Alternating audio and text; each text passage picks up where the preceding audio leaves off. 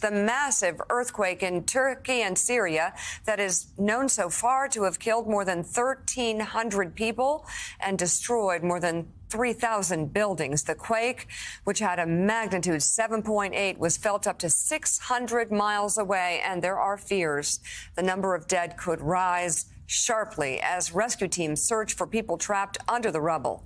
Turkey has declared a state of emergency, and the U.S. has already offered assistance.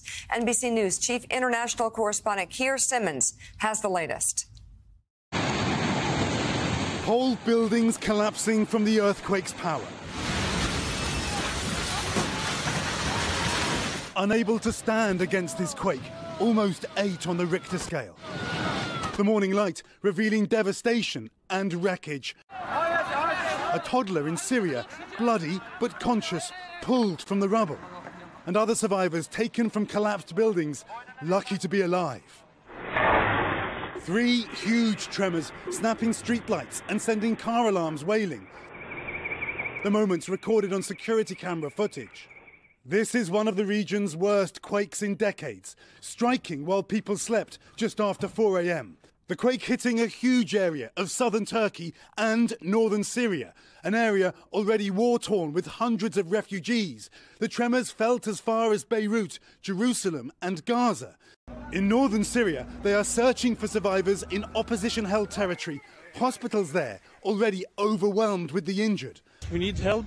We need the international community to do something to help us, to support us. Turkey's President Erdogan said rescue workers will be joined by troops to search for survivors, but they have a vast area to cover. Those searching calling for silence as they try and listen for trapped survivors. This rescuer asking someone trapped, What colour are you wearing? Are you wearing pink? A frantic rush to find those caught in the rubble. The White House offering to provide any and all assistance to Turkey, although the statement left out any reference to the US working directly with Syria.